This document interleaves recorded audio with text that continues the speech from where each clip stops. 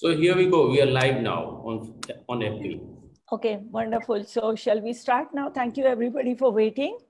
We are going to start now and I'm going to ask Fauzia to first start. Okay. Thank you, Amit. Thank you, Swati. So before um, we start today's event, which is um, a part of our visual art focused event series, online event series, and the topic is a stolen art and detective work. Before I introduce our speaker, let allow me to introduce myself and talk very briefly about Samanvay, um, this organization through which we are hosting all these online events. So my name is Fauzia Farooqi. I am a faculty member at Princeton University. I teach South Asian Studies courses there. And here I am welcoming you all on the behalf of the team of Samanvay Space. So what is Samanvay? Samanvay is an, a cultural organization, a non-profit cultural organization dedicated to the preservation, promotion, and appreciation of Indian performing arts and literature, both locally and globally. We organize regular cultural and literary, uh, literary events showcasing world-class Indian talents, as well as supporting local and upcoming talents through our platform we are very keen to engage with youth. We engage with youth uh, through various um, youth groups, uh, youth-based organizations, and we involve them in organizing and promoting our events. We also contextualize performances and events and provide an orientation to various literary and cultural traditions with the goal of uh, creating uh, active audience communities in India. And last but not least, we strategically work and plan our events uh, to create a space where artists, audience, um, uh, collaborators, sponsors, various stakeholders come together to promote um, Indian arts, literature, and build a community that appreciate um, art and culture. And now, um, today's event, I, for, the, for today's event, I would like to uh, introduce our speaker, our very um, well-recognized speaker who does not need an introduction, but as the tradition is, um, so um, I must introduce her. So today's um, for today's event, we have Dr. Swati Desai, who is a professional psychotherapist, a trained teacher of mindfulness, and an art enthusiast. She has taught mindfulness and related subjects across universities in the United States and Asia. She currently teaches mindfulness workshops at the Indian School of Business in India, as well as at various counseling centers in India. She worked as a director of campus relations for the Center of Mindfulness at the University of California at San Diego.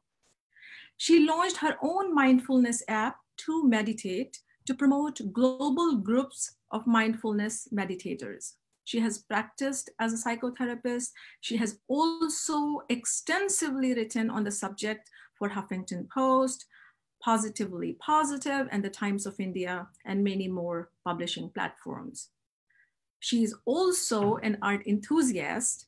Following her mother's footsteps, she, um, from her childhood, she has been uh, working uh, with visual art, appreciating visual art, and she is also very interested in the art history. And um, for her passion for art history, um, her passion for art history is evident in this talk that she's going to talk about, um, you know, stolen Indian art and will do some detective work for us to uh, make us understand what goes behind the scene.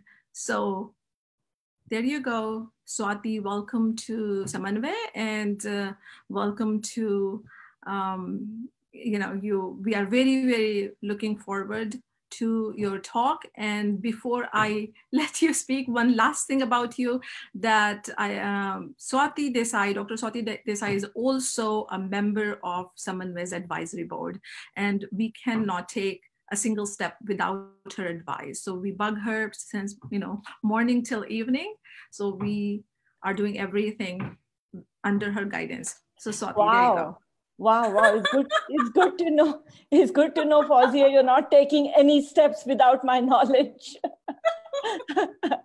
but that was a very, very kind introduction. Uh, like you said, yes, my mother is an artist. So is my sister who lives in Los Angeles, as well as my other sister who helped me to prepare this talk to a certain degree. I'm not an art historian or an art scholar, but I'm an art enthusiast and I love to know about these kinds of things and stolen art because we can also have some psychological insights when we are talking about stolen arts, especially from India. Um, however, before we begin, uh, what I'm going to do is I would like to um, do this. Irfan Khan, uh, who was a trailblazer in Bollywood. Uh, many of you know that I'm also very interested in art films. And so Irfan Khan's work is very, very familiar. Uh, I'm very sad to have the news coming today that he passed away. Many of you must already know that. So I just thought that we will uh, send his family prayers and as well I just remember him for a few seconds before I begin.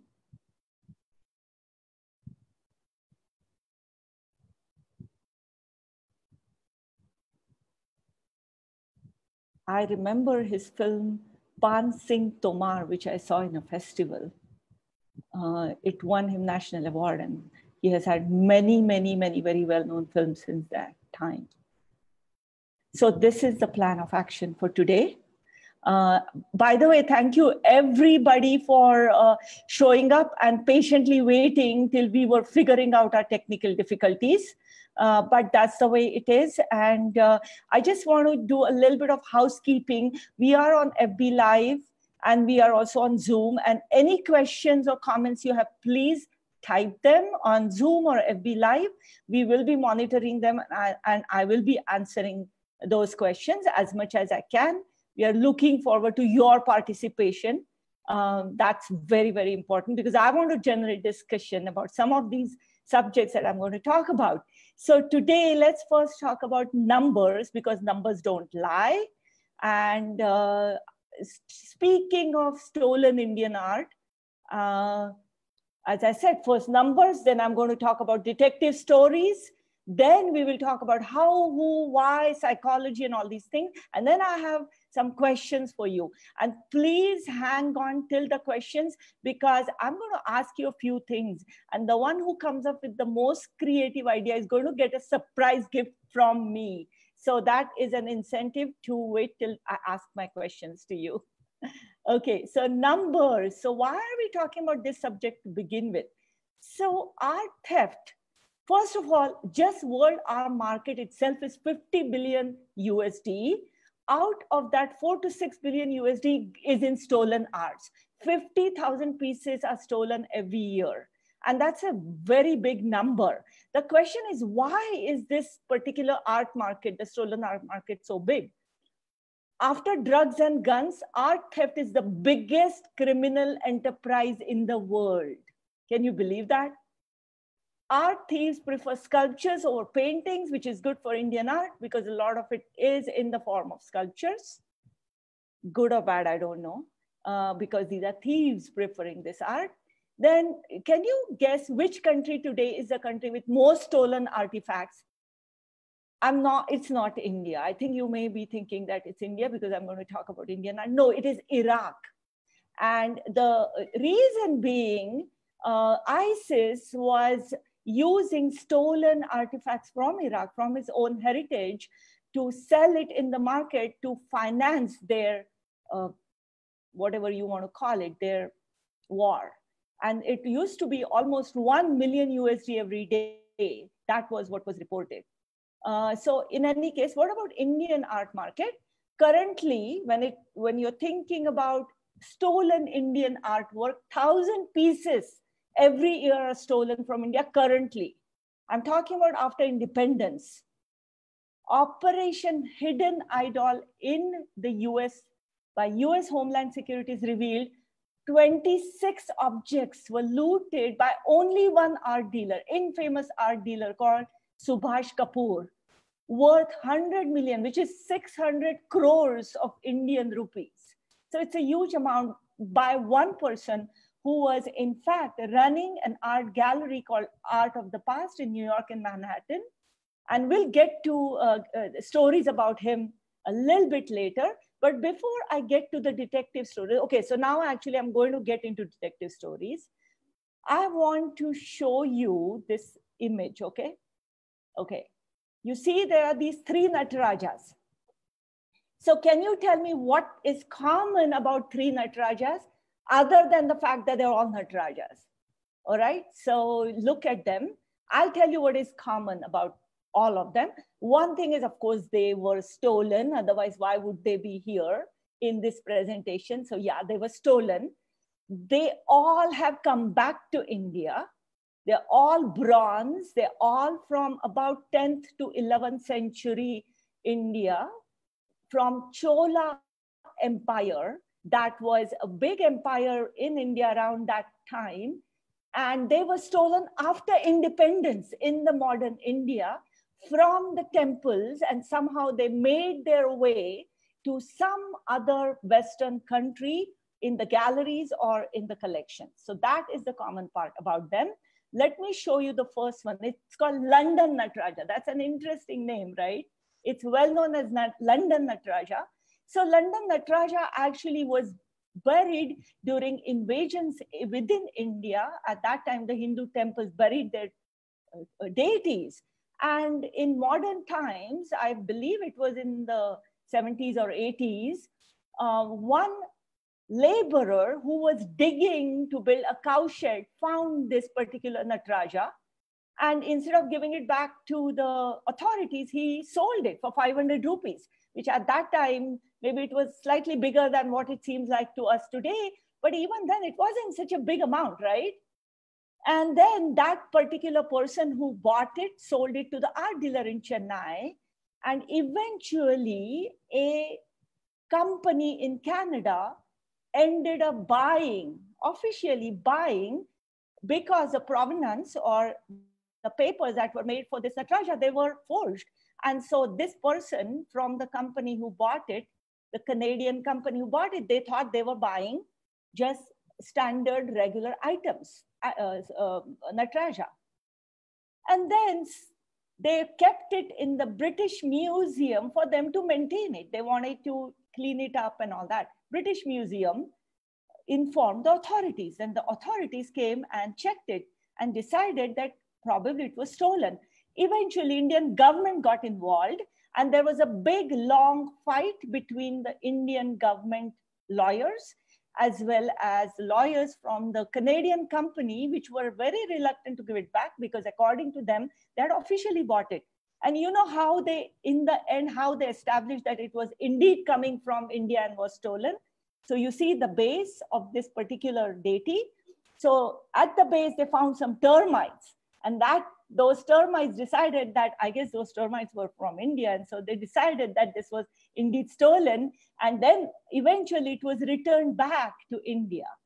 So that is the story of this famous London Nataraja. Uh, then there is this other Nataraja that one in fact was Los Angeles, the place where I was until last year for many, many years, over 30 years. Norton Simon Museum in Los Angeles is a beautiful, not very big museum, has a beautiful South Asian uh, hall. It also has a very famous Degas collection of dancers. And there, this particular Nataraja was sitting there and until it was decided that it was stolen. And Norton Simon, the person who owned it, he admitted that in fact, he thinks that most object that came to him in a South Asian or rather Asian art hall were probably stolen. But the papers that they received, they were forged and they showed them as legitimate objects, but these were actually stolen objects. Again, there was this argument, fights, and Norton Simon eventually in 1986 returned it back to India. And I have seen this particular statue in Norton Simon Museum in Los Angeles. Now the third one, okay, Brihadeshwara Nataraja. So that's the other story. So what I'm trying to tell you, all these were buried treasures who somehow they made their way to the West. So Brihadeshwara Nataraja has an interesting story. This Nataraja was in the temple, Brihadeshwara temple, and it was stolen by the Pandit, the Pujari, who actually was supposed to worship it. And it was probably done under the instructions of our dealers. And it was replaced by a fake Nataraja. So for many years, people were worshipping a fake Nataraja without knowing the real one actually had made its way to this art dealer in Chennai and eventually to Subhash Kapoor. So there he is. Subhash Kapoor finally got hold of this Nataraja and then he kept it in his gallery in Manhattan. And eventually it was sold to an Australian art gallery, National Gallery of Art in Australia. And eventually, again, like other Natarajas, it was revealed that it was stolen and it was returned back. And how did they find out? So there is an organization called Indian Pride Project. This is an interesting organization. These are people from Singapore. They are not artists, they are art lovers. Vijay Kumar and Anurag Saxena. They started India Pride Project. Their whole purpose, they are all volunteers, 250 volunteers. What they do is they look for objects all over the world that could be stolen and they search the lineage and they prove it that this indeed came from some place in India. You have to prove it. You have to prove the whole trail before you can just ask the owner, current owner, to return it back. And that is what they did. And in the end, they found that Subhash Kapoor was the one who was the sort of the art dealer, dealer slash the person who was faking not only this one, but many other artifacts. He was selling it to the West. And so this one indeed came back. And in fact, it was returned back by the Canadian Prime Minister when, uh, sorry, not Canadian, Australian uh, Prime Minister when they visited India. It was brought back, and you can see um, the moment of pride for our Prime Minister who is receiving this Nataraja. Okay, so that's how you know all these particular objects have all these stories about being buried and then making its way and so how does it happen? But more than that, my question to you right now, to all the audience is this. Do you think this Nataraja is beautiful? And my question to you, do you think this particular Nataraja, which we know is from 10th century and has made all this journey, it was lost heritage, lost history, and now it has come back. But let's say you just find a Nataraja like this sitting in somebody's living room maybe something that, I mean, we, we know there's so many of these kinds of statues all over India, right? Or all over the Indians, uh, houses of Indians who live abroad even.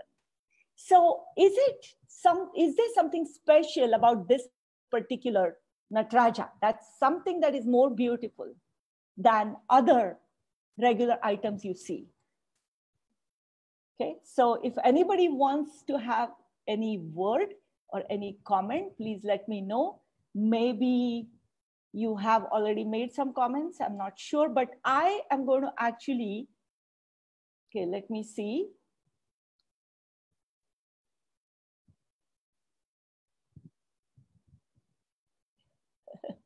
to a circular third is not, somebody's saying. Uh, but in any case, so this is what I'm going to ask you to do. So I have a friend, he's a filmmaker, and he made a film called Darshana. And the film or the documentary is about art in India, ancient art in India, and how that art is indeed different. Um, than you know like western art and what's different about it so i'm gonna i asked him i asked him what he thinks about this particular art being different the ancient art being different than the replicas and this is what he said his name is vikram juchi and uh, i was and he currently is in mexico under lockdown when i was talking to him. So let's listen to what he has to say. There is a difference between good okay let's let's forget that they are temple deities. And if they're temple deities the value is on a different sacred level. But let's look at them as art objects okay? Do you think there is a value in them as art objects? You know like let's say somebody buys a natraj made 10 years ago in a factory. Versus a natraj from 10th century chola period from chennai. Yeah. Is there a difference just as an art object you know somebody who's evaluating the artistry is there something more beautiful about the 10th century objects? Yes obviously because the object that is produced in a factory yeah. is a replica. Yeah. You know is a replica. So if, if you look at the people who are commissioned to create these objects because i made a documentary about this. Okay. And in fact i spoke to people in nepal and other places yeah. who are who are commissioned to produce these objects for private owners, you know, or whoever. And uh, they, uh, they are given the diagram, and the diagram is from the original object from, you know, a thousand year, uh, you know, the original object from the Licchavi period, or from the Gupta period, or from whatever period, you know. So that, and based on that, then they create this, uh, this replica so, and if you go to, you know, uh, Paharganj in Delhi, mm-hmm. now you will see, you know, hundreds of such objects being produced, being mass produced mm-hmm. for private homes or for whatever. So, uh, obviously, it's an industry now. And um, there is a huge difference because the, the, object that was produced at that time, I mean, you can see the sensuousness and the, mm-hmm. and the kind of uh, you know the artistry that has gone into it. Whereas anything that is mass produced is just mass produced because now uh, what you have is like a Xerox copy. Yes, yes. It so what he's saying, this is what I get, okay? Authentic versus replica, there is something that we value when it is an authentic. I mean, one thing is the ancient aspect of this particular object, and also the fact that it is authentic. If it were just replicated, even if it looks the same, it's not the same to us. And why is that? And I have a psychological explanation for this, which I would like to talk about so evolutionary psychology basically will say, why do we value something that is real versus something that is just an imitation? We want authentic, honest things. Why is that? So evolutionary psychology is this area where they believe that the way our psychological development has happened is because of the evolution. What that means is the standard principles of um, uh, natural selection as well as us wanting to survive and spread our genes. That is the motivation for our psychological development. So the reason we we want the authentic is because look at this. Generally speaking most human beings they are their own pr agents. By that i mean public relations agents. The way we conduct ourselves in public is basically to promote ourselves to a certain degree. So, what is inside? What is authentic? What is honest? That's something we don't know when you just see somebody in public, but we need to know that. And it's okay. In general, it doesn't matter. But if you want to build a relationship with that person, maybe a business relationship or intimate relationship, you will be dealing with the authentic person, the honest truth behind what they show in public. And that is what matters to you, right?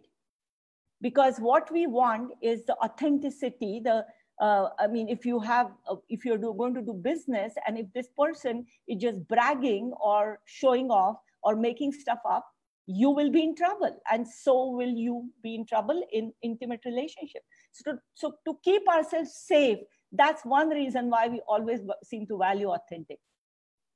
In this particular case, it's authenticity, but also along with it, the fact that it is ancient also holds some meaning to us.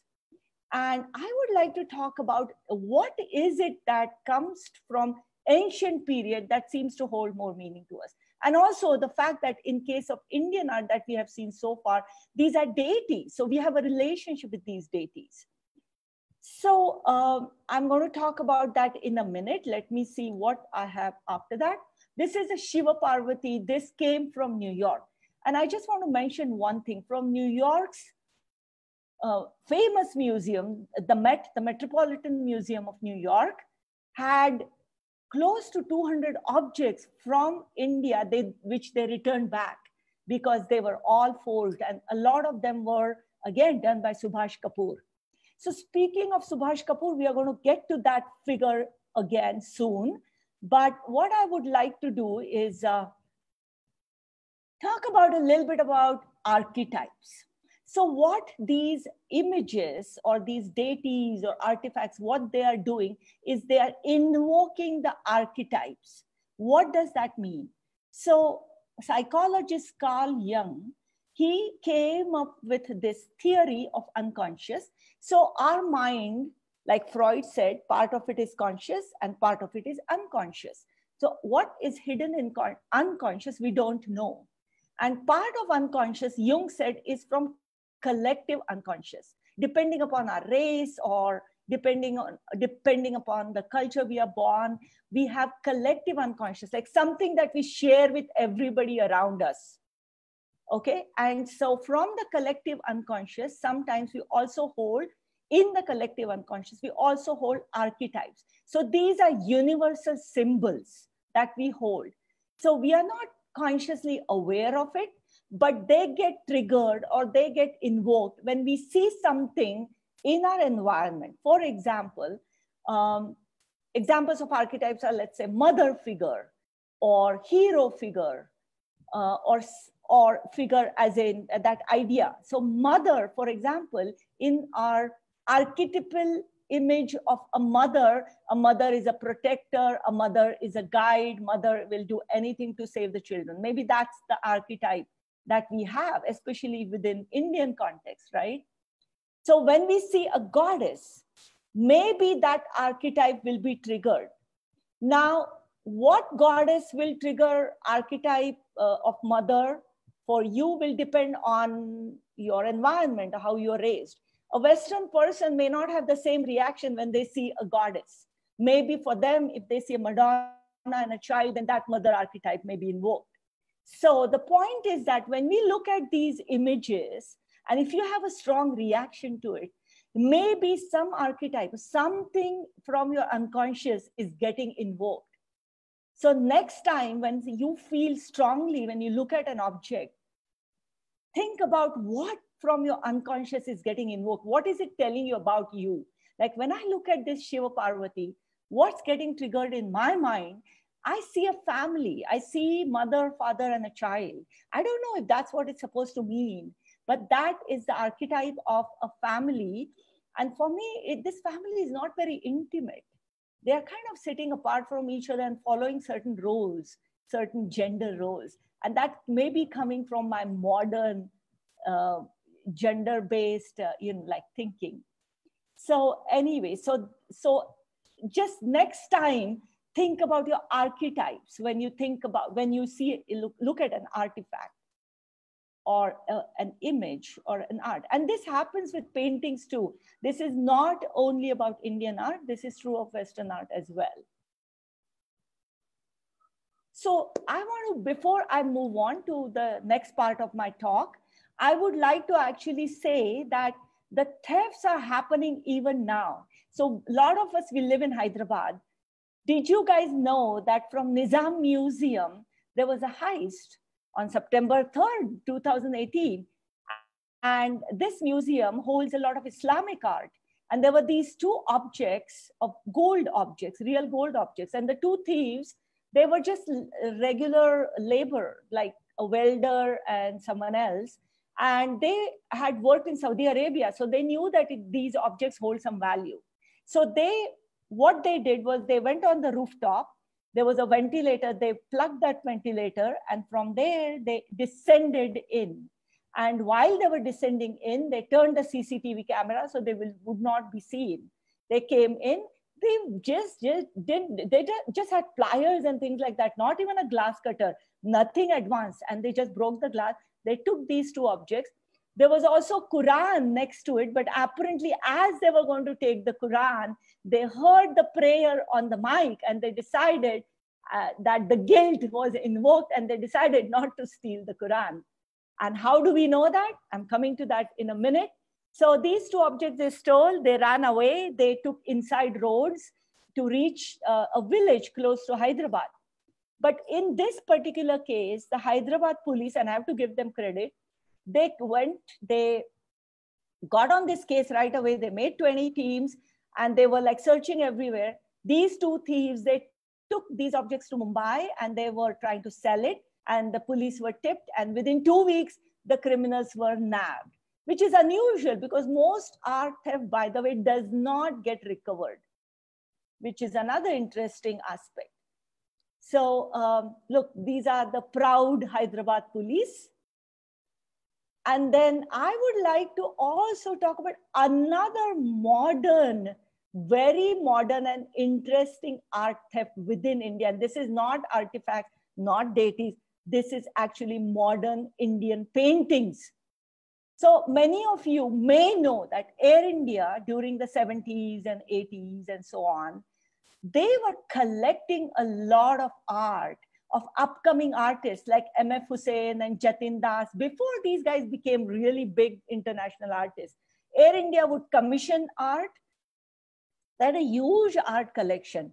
Eventually, Air India's mismanagement and Air India's and renovation and what. By the way, all this art was hanging in their lounges on airports as well as in their headquarters. But eventually, then they decided to all store it in a storage place because of whatever the reasons were. And guess what happened?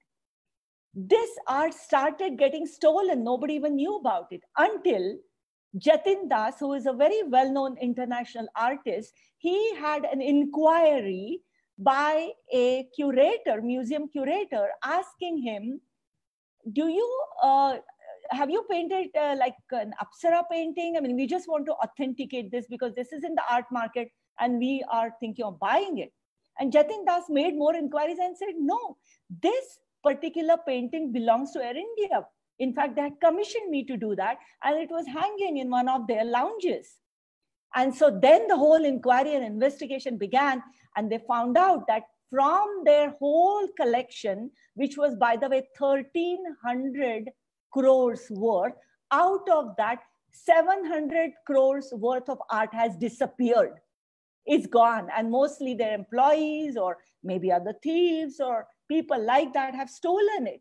So imagine Air India is currently in the debt 5,200 crores. If they had their whole art collection intact, maybe they could have recovered 1,300 crores, but they cannot do that anymore. So such is the nature of um, art thefts.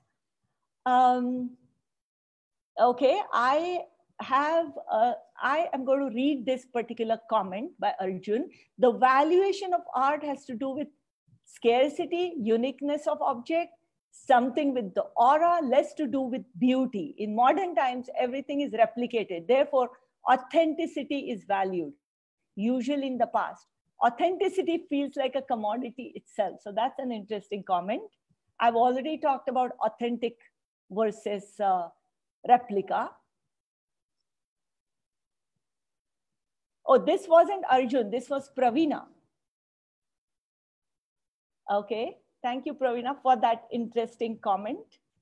Uh, next time, I hope I get to read it before it's actually, uh, before I'm talking about the next subject.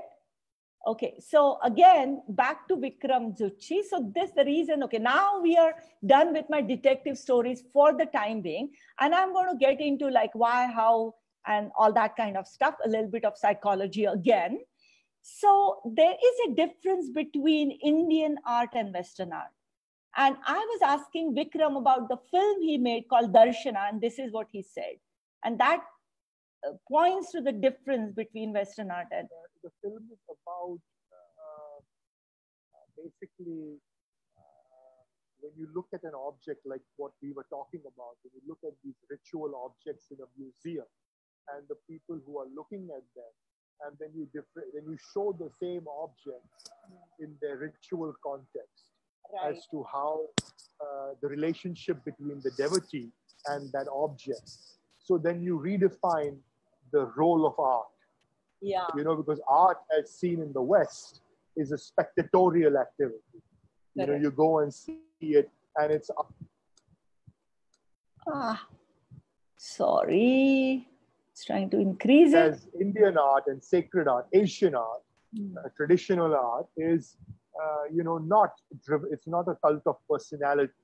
Uh, you know, it's uh, it's about uh, the relationship between uh, the devotee, the worshipper, and the deity, Hmm. and then uh, what are the meta the metaphysical meanings of these various artworks? How are they used in ritual worship?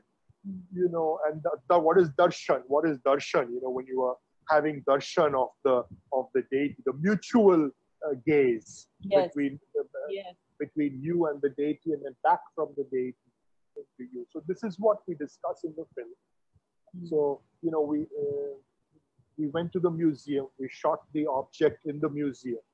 Then we went to uh, India or Nepal, and we went to the community that produces these types of objects, Mhm. and then show the actual ritual um, application, you know, the, uh, the ritual praxis of these. So the, the three, the three uh, sort of links.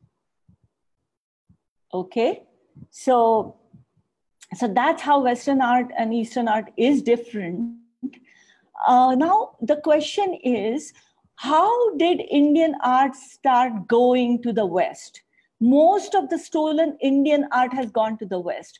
And there are three different ways that in which it has gone from here to there. One is colonial times the objects that I showed you so far, they were all from modern times, they were post independence. But before that, during colonial time, a lot of art, artifacts, archaeological treasures, they went to, um, went to the West.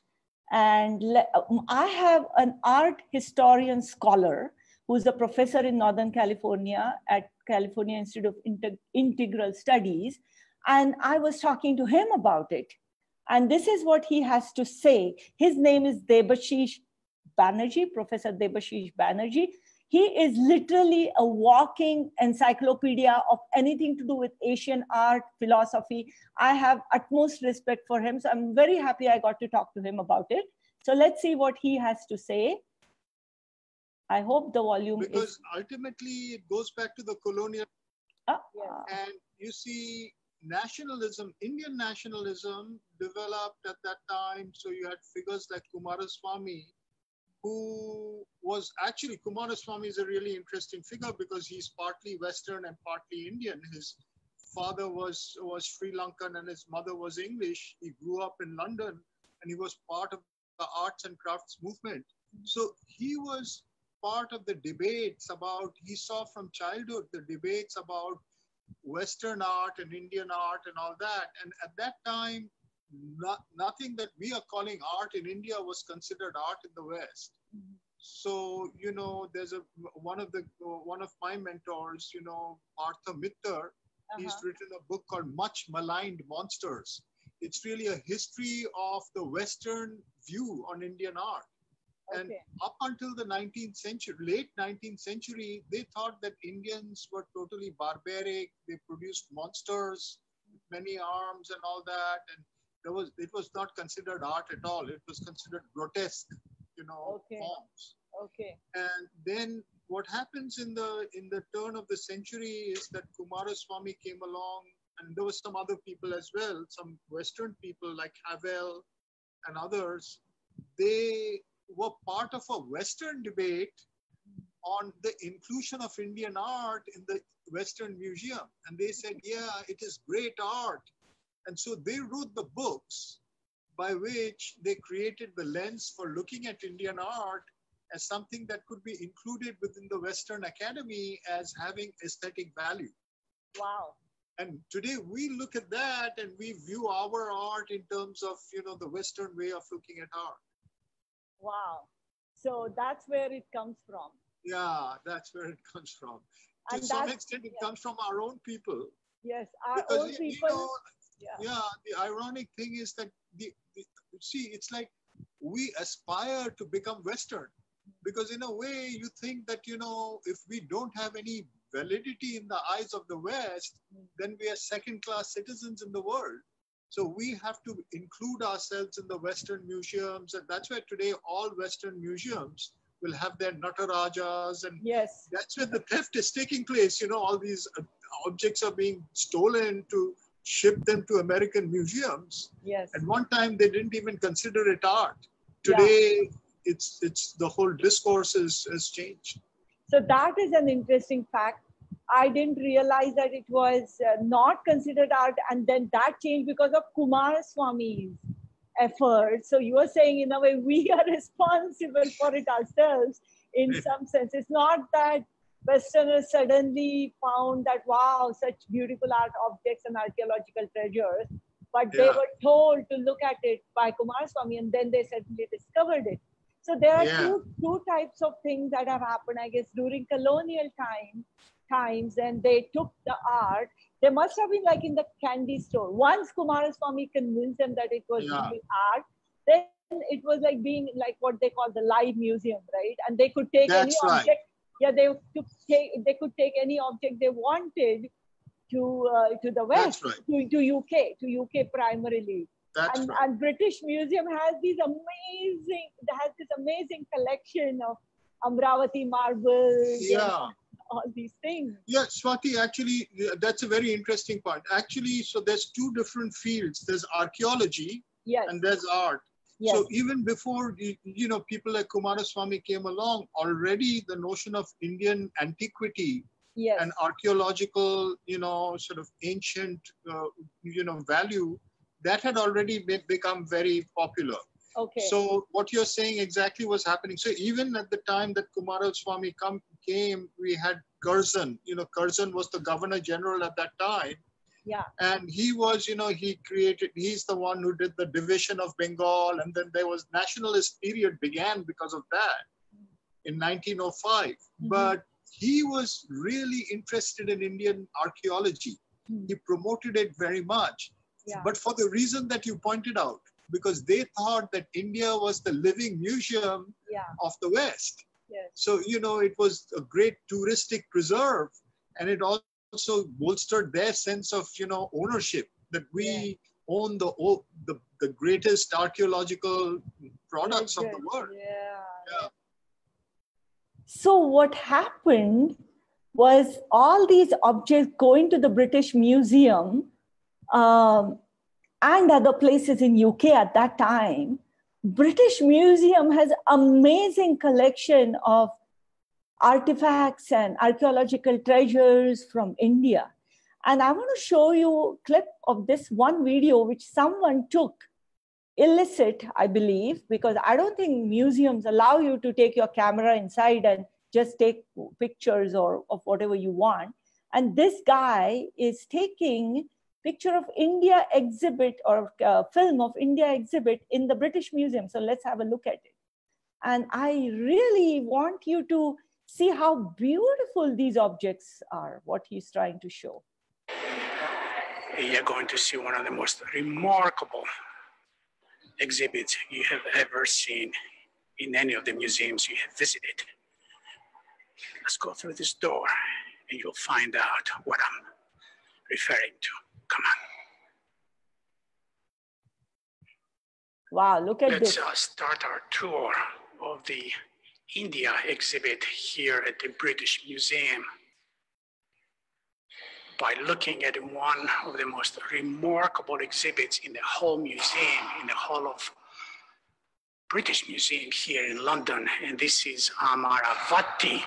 Amravati. These are remains of a temple, of a stupa that was created in 200 AD in southeastern India.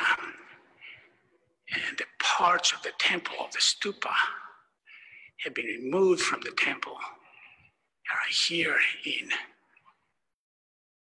England, in London, priceless. This actually gives me shivers. 200 AD, I guess some archetype is getting invoked. I'm not sure which one it is. However, look at the artistry. And from 200 AD, and this whole temple was taken and it's housed in the British Museum. By the way, British Museum um, is saying they are, they are not going to return any of this back because they don't believe in the returnism. Uh, they don't believe in that. So let's see, I'm going to take you out of here. I'm going to forward this a little bit. And show you some of the other beautiful objects that are here in this same exhibit here. Look at this Nataraja. This must be Brihadeshwara Nataraja. That's, that's what I think. The one that, as you guys know, went back to India thanks to the India Pride project. And it went back to the temple, its original place.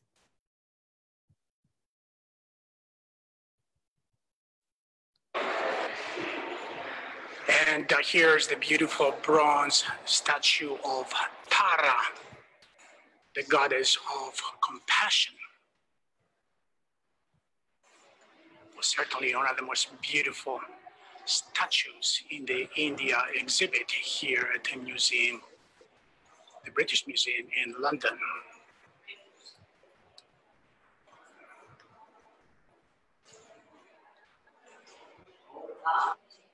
And then comes this another gorgeous piece of Shiva and Parvati.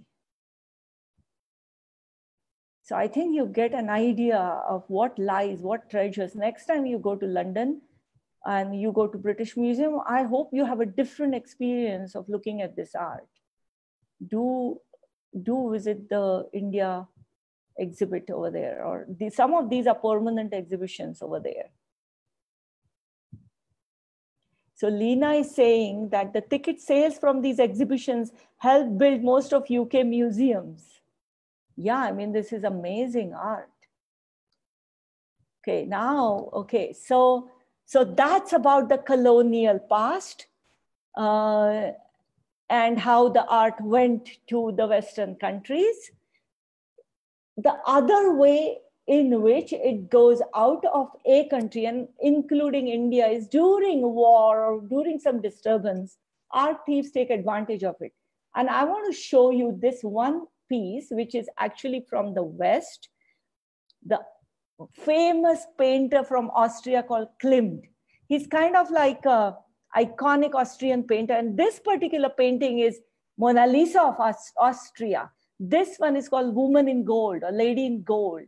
And Klimt used actual real gold, gold leaves to uh, create this painting. And look at, I mean, it's a portrait of a, a woman and this woman belonged to a rich family. And then during Nazi period, these paintings by Klimt were stolen. And then they entered Austria again, and then it was shown in Austrian Museum. I want to tell you the story of this particular painting, which is again a very interesting modern story of theft, theft and recovery. So this is the news item Santa Monica, which is part of Los Angeles. So the woman who was the heir of the woman in gold of that family, she found out that in Austria, the painting was sitting there and he, she had to fight a big court battle to get that painting of her aunt back to Los Angeles. And I've seen that painting when it was exhibited in Los Angeles when it came back. So let me just run this. Leslie, thank you. An Austrian court cleared the way today for an LA woman to reclaim family owned art that was seized by the Nazis. The five paintings by Gustav Klimt include a portrait of her aunt. Eyewitness News reporter Carlos Granda has a look at her fight to get the family treasures back. Carlos? Well, Ellen, this is a story that dates back 70 years, a story of family portraits that have become treasured works of art worth $150 million. They were taken away, seized by the Nazis during World War II, and now the family can get them back. Maria Altmann is surrounded by her family as she holds a copy of Adele by Gustav Klimt. The subject in the painting is her Aunt Adele, and Altmann is the rightful heir to the original. I had always hoped that uh, justice will find its way, and it did. Altmann has been involved in a legal struggle since 1998 over who owns several of Klimt's paintings. Her family lived in Austria, and the art was seized by the Nazis when they took over in 1938. She never thought she'd see these paintings again. They have been away from me for so many years. I was a very young girl when I left them uh, the last time, but I saw them in the house of my uncle, and ever since then they were buried in in, in salt mines in, in during the war. Altmann's attorney says Austria has a law that requires museums to check all their works of art to see if they include items seized. So I have to give credit to the Austrian government in the end who listened to the US Supreme Court and they returned these paintings back. They were exhibited in Los Angeles because the woman, Maria Altmann, Altmann is a Los Angeles, she's no more. And the paintings are now hanging in Neue Galerie in New York. So you, if you visit New York, you must see these amazing paintings. I love Klimt, all his other paintings too. Um, so, so Nandini is saying that Arthur Sackler Museum of Asian Art in Washington, D.C. That's true. There are so many of these amazing museums. Are these Sacklers the same ones who got their bad name during this opiate, opiate crisis in the US? I think these are the Sacklers. But in any case, so let's move on. Uh, I want to show you a small clip of the movie Woman in Gold and, and Helen Mirren is talking to uh, the lawyer. Helen Mirren is playing Maria Altmann in this movie. Oops. Here she is. My aunt, Adele. My uncle commissioned Gustav Klimt to paint her. It's quite a painting. It's magnificent. She was taken off the walls of our home by the Nazis. And since then, she's been hanging in the Belvedere Gallery in Vienna. Now you'd like to be reunited. Wouldn't that be lovely? Make you a rich woman, I'm sure. Do you think that's what this is about? No, I have to do what I can to keep these memories alive. Because people forget, you see especially the young.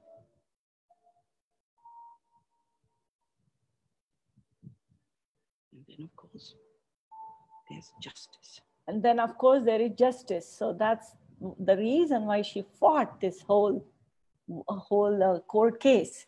Uh, so, okay, and similarly, Mahishasura Mardini Durga from Kashmir was stolen from the temple during the 90s when there was a lot of turbulence in Kashmir.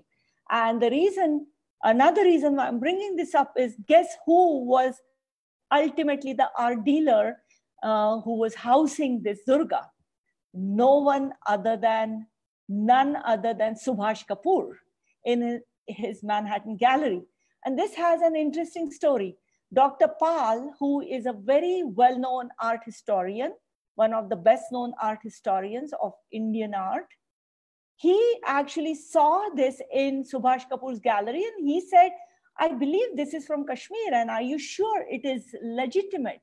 And that time, Subhash Kapoor, he pled ignorance and he said, yeah, I'll, I'll, I'll see what I can find out. But he did not obviously find out anything because he knew that he himself had forged the documents, the ownership documents ultimately this Durga went to Germany. And uh, there, in the end, people ended up, again, I believe these were the same people, the India Pride Project people, who proved that this one was from Kashmir and then it was returned back by none other than Angela Merkel, again to our prime minister. So speaking of Subhash Kapoor, you know how, in fact, he got arrested? So Subhash Kapoor's girlfriend was, in fact, an art dealer in Singapore, a long-term girlfriend, was an art dealer in Singapore, and she used to help him to forge the documents. She would show that it was owned by her or someone she knew. And eventually, their relationship broke up. And then um, they had a court battle to decide which object goes to who, and Subhash Kapoor took most of it. So this woman obviously felt very duped, and she was very mad at Subhash Kapoor, and she started questioning everything else that he owned in the press. She started doing that. Eventually, in the Brooklyn Museum, where she made these inquiries, they went after Subhash Kapoor. By that time, Subhash Kapoor had another girlfriend who used to help him to forge the documents. But eventually, the Brooklyn Museum alerted, when they alerted the authorities in New York, they eventually caught hold of Subhash Kapoor. And so the message is, if you want to do any illicit trade or you want to hold any illegal art object in your home, make sure you don't fight with your girlfriend. Never decide to break up with her. And this is not the only time, by the way. There are many stories of this type where a couple, after breaking up or after something happened, one person becomes disillusioned and uh, then somehow their thefts come out in the open. So that's the other, other way in which art thefts gets revealed. So, okay, so now let's go a little bit towards the profile of an art thief, okay? And then the psychology behind art theft and art collection. So we think about art thieves as sophisticated, suave, who understand the value of the art and they have these elaborate schemes to steal the art, like it is shown in the movie Thomas Crown Affair. Many of you may have seen that movie. If you haven't, tonight is the time you can see it. And I'm going to show you a clip from that movie right now. This is the Met, the museum again in New York. That's what they, that's where this Thomas Crown is there right now. Lend me hand here for a minute.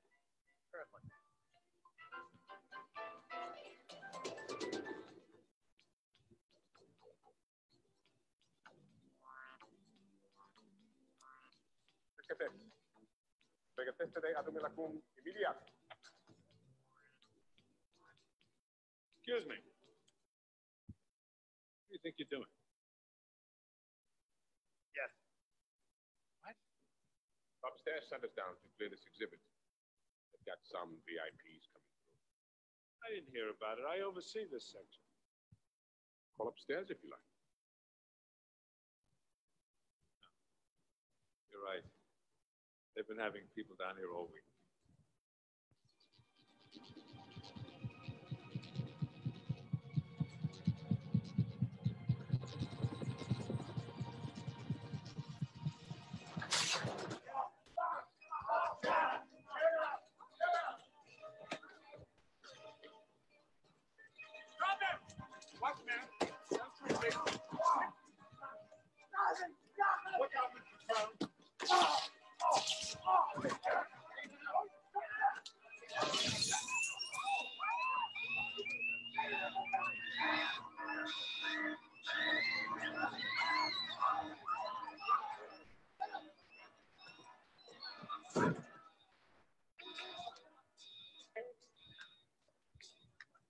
He is stealing the money in his briefcase. Look how he's stealing it.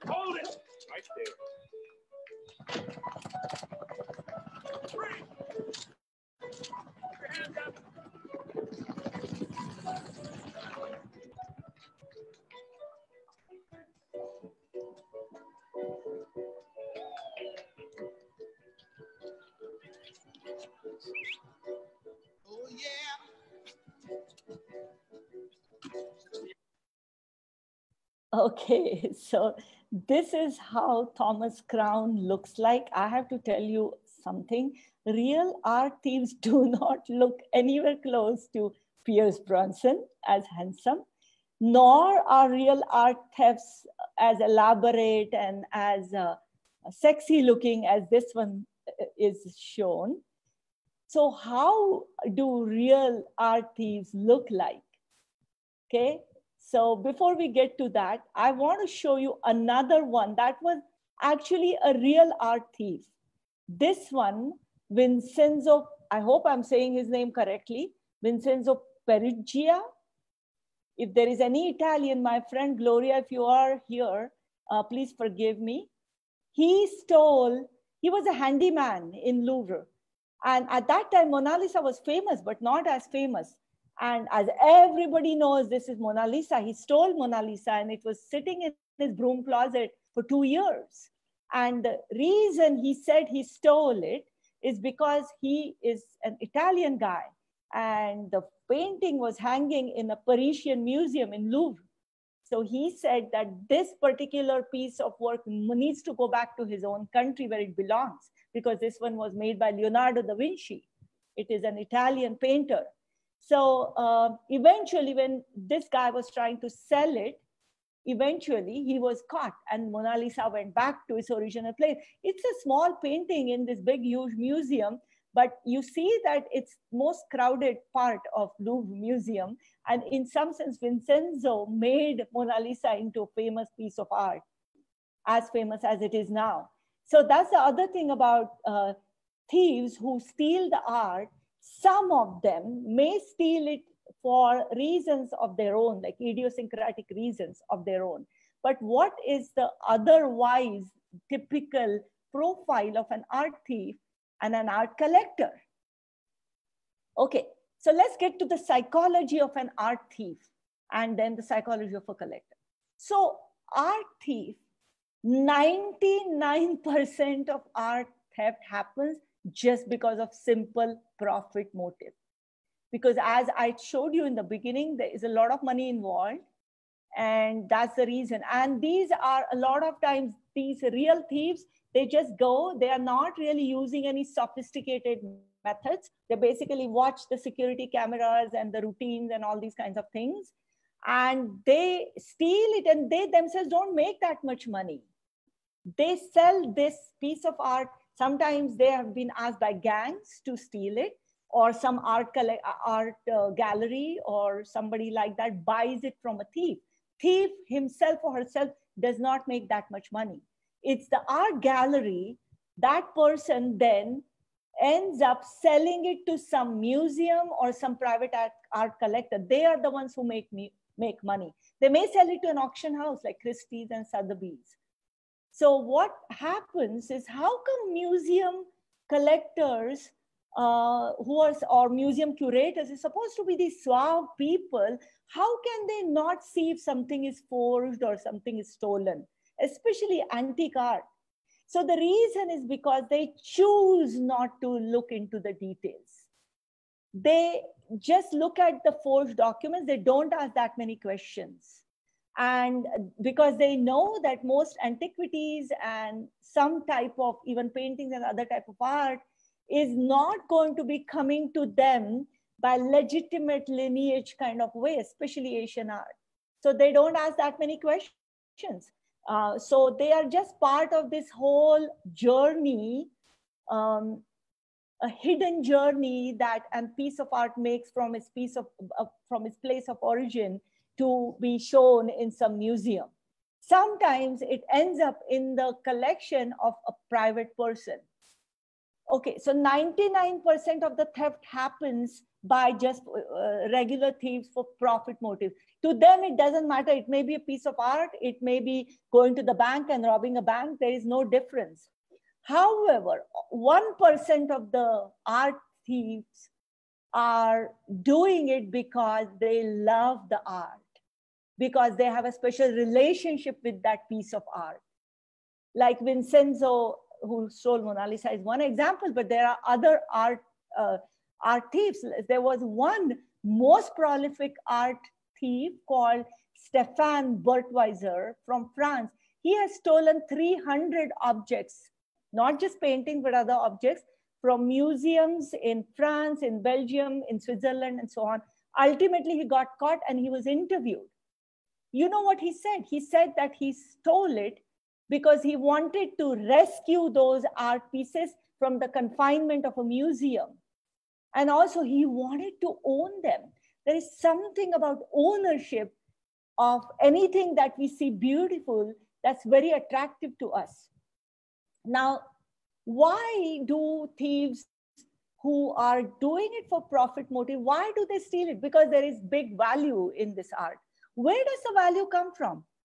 Is because museums and collectors want to own it and they want to buy it. Now, what is the psychology of a collector?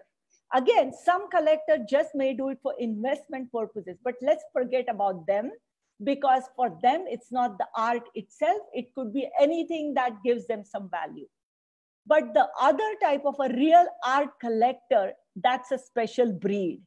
They are the ones who are wanting to own it, and they are the ones who are driving the price of um, the item so high that there are all these thieves that are willing to steal it.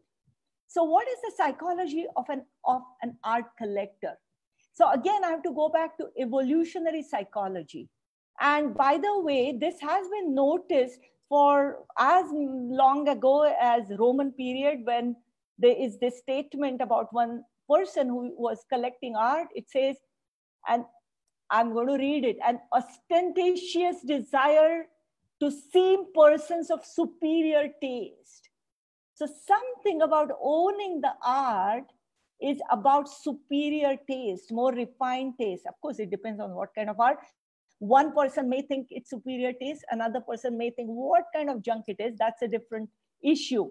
But why do people want to own what they love? So, one reason in modern psychology, that is again evolutionary psychology, is that it is to create and strengthen social bonds so there is this one uh, professor in City University of New York. He has written this essay called Why People Collect. He is a professor of art crime. Uh, not he, she, Erin Thompson. So what she says is the entire art collection or art collect, people who collect art, they do it because of creating social bonds and also to communicate some information in their circles. So think about a person you know who's collecting art and exhibiting it.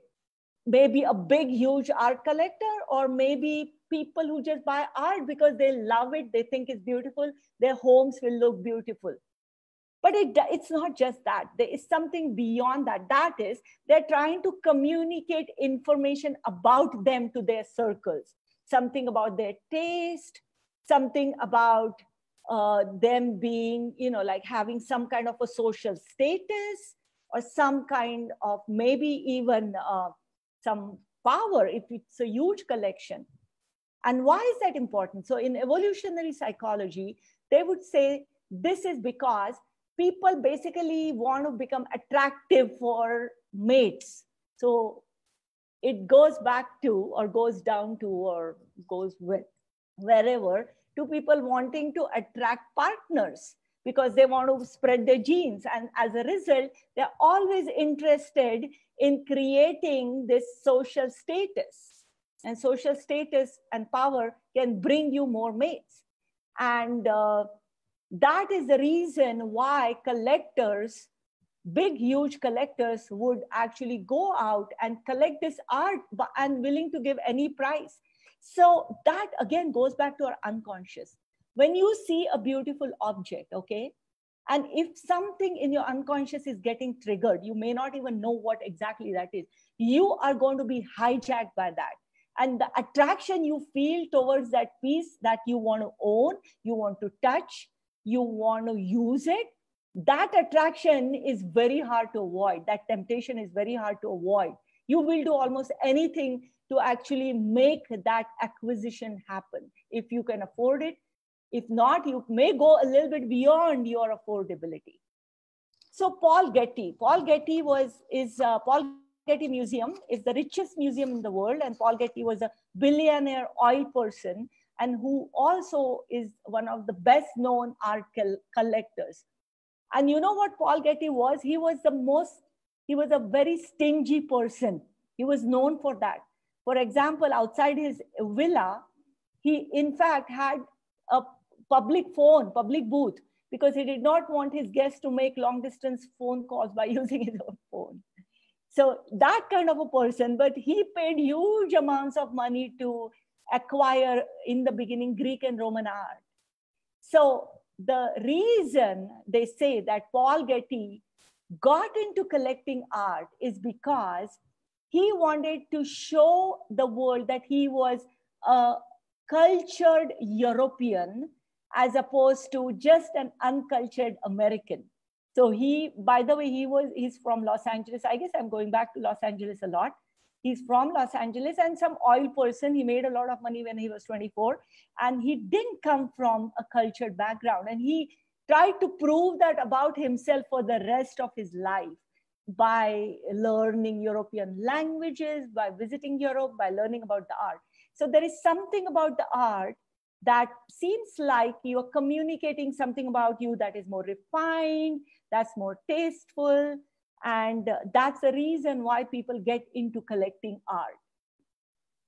There is, in fact, also a interesting book. Those of you who are interested in this subject may want to read it.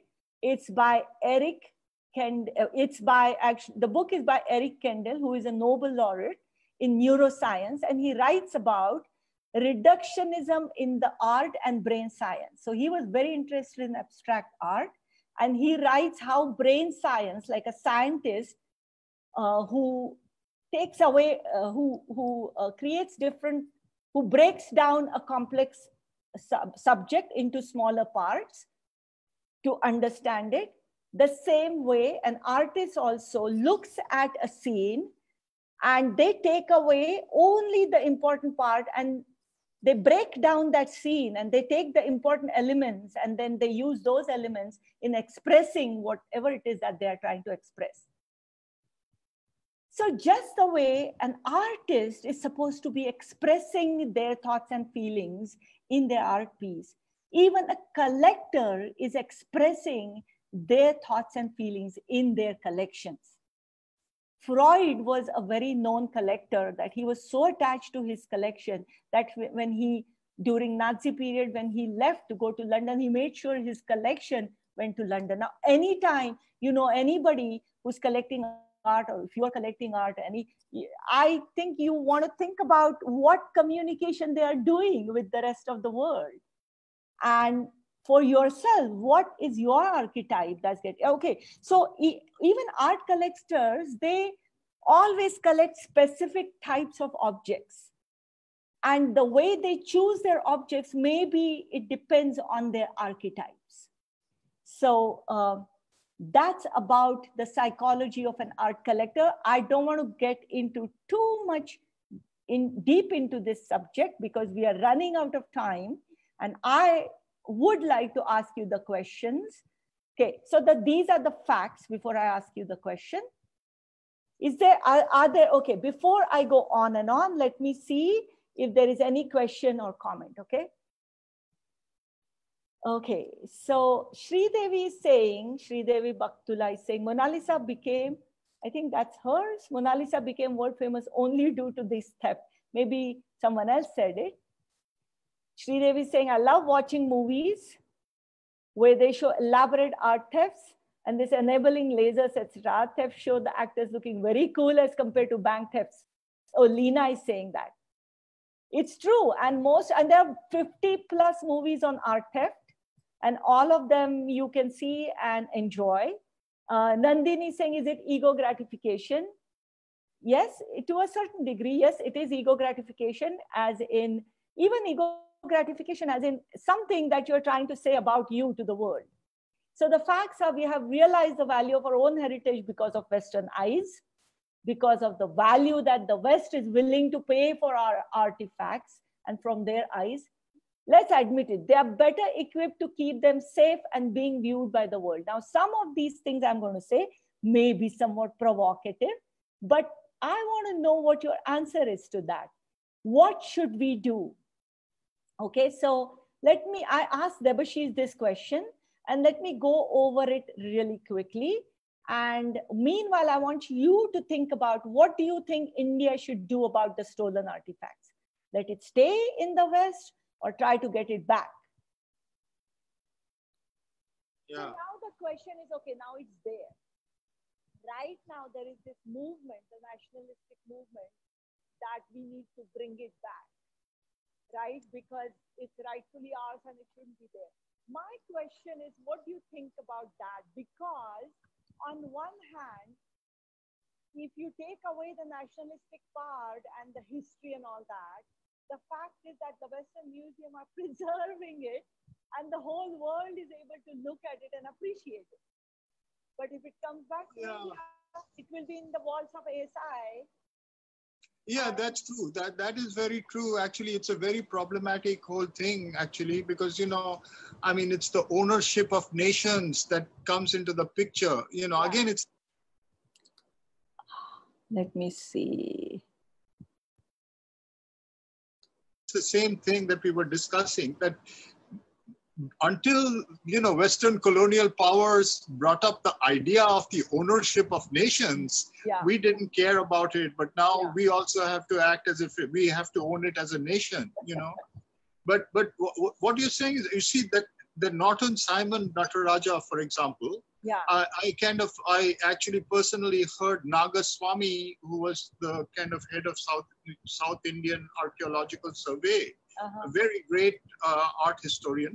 Mhm. Uh, he came personally to take it back, you know, and Yes. was there during the case and all that. So he was talking about it. Yeah. So basically, he made the case on this basis that here y'all are actually putting it up as an art object and people are coming and gawking at it as if it's some kind of beautiful thing. But for us, it's a temple object and thousands of people see it as a living thing and they go and worship it. And, you know, we have to get it back for that purpose. The problem is that when it came back, it never went back to the temple. It's like Yes. you said, it's in the ASI Godown. Yeah. Yeah, yeah.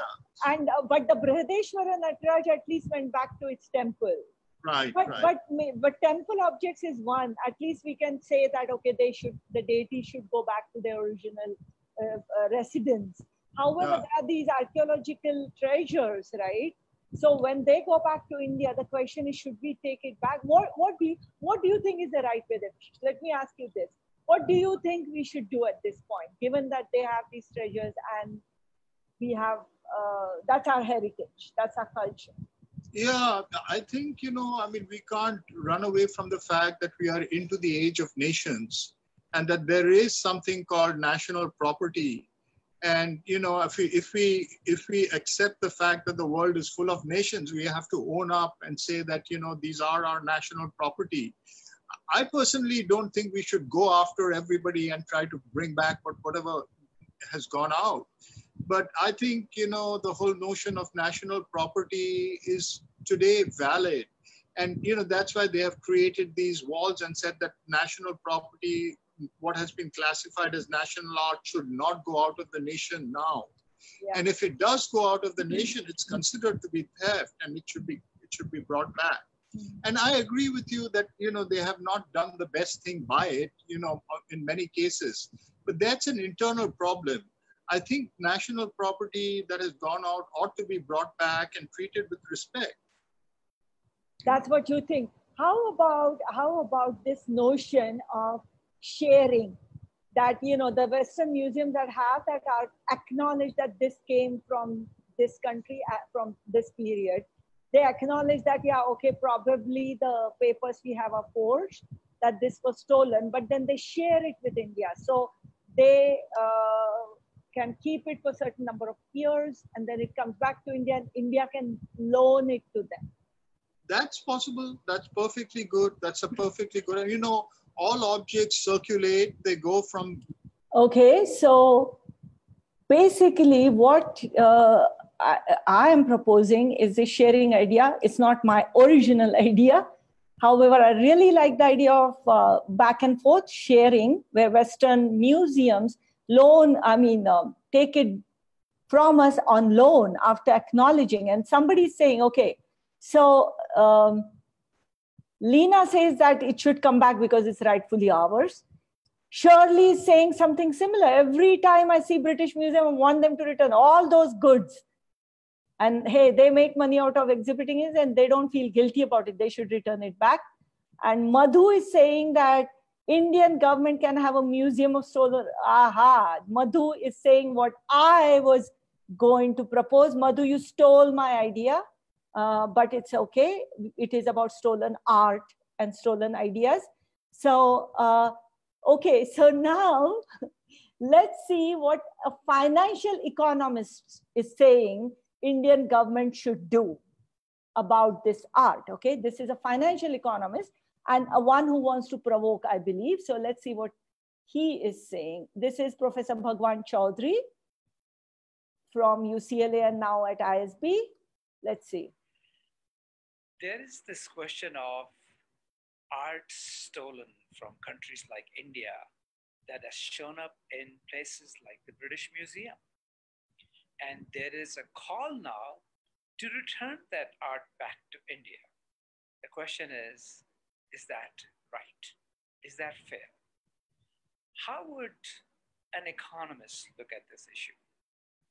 So, one could argue that were it not for the British, had they not taken that art away from India and other places, maybe it would have survived. And even if it had survived, maybe it would not have the same value that it does now. So, how to think about whether or not this art should be returned? And I think my answer is yes, at a price, it should happen. So let's take a simple example. Suppose there is a piece of art that was worth $10 million if it were not taken outside India. Okay? And let's suppose there's only a 50% chance that it would have survived all these years. So, in some sense, the average value of that art had it not been taken out of India, is only 5 million. Now let's assume that the piece of art that's sitting in the British Museum is currently valued at 20 million. So my answer would be that yes, if the art is given back to India, India should pay the increase in value from 5 to 20, 15 million to get it back. Alternatively, the British should pay India $5 million to keep the art in the British Museum. In other words, India should have the right to get it back, but they should pay a price for making sure that that art was kept well and, in fact, it increased in value. I think that is the only fair economically fair answer. what do you guys think? I think I think people are going to be mad at you, Bhagwan, for suggesting that Chor Bazaar uh, say you know like you can you can buy it back from the same chor after paying them for keeping it well and good. Ajit is saying, will the Brits be willing to give up their art? And the answer is no, they are not. Canadians have Australians have, Germans have, but not the British. USAians have. I call Americans USAians. Um, and Ajit is also, will it also apply to the private? Will it be only, if it is sharing, will it be only one way sharing? Um, one way, no, it will be two way, but um, Indians may not be uh, able to pay for the journey of the art from the west to here. So in that sense it may be may have to be one way. And uh, someone else is saying anuradha anirudh Anir, uh, anirudh jalan is saying my view is that physical location of art is no, no longer relevant because of digital world like what we are experiencing. That's also a great idea. But you know, there's something about owning, viewing, touching, or at least touching not like with your own hands, but with your naked eyes. Says something about a brain that's still not adjusted to the digital world, I think. I don't know how it is for you guys to see this particular presentation.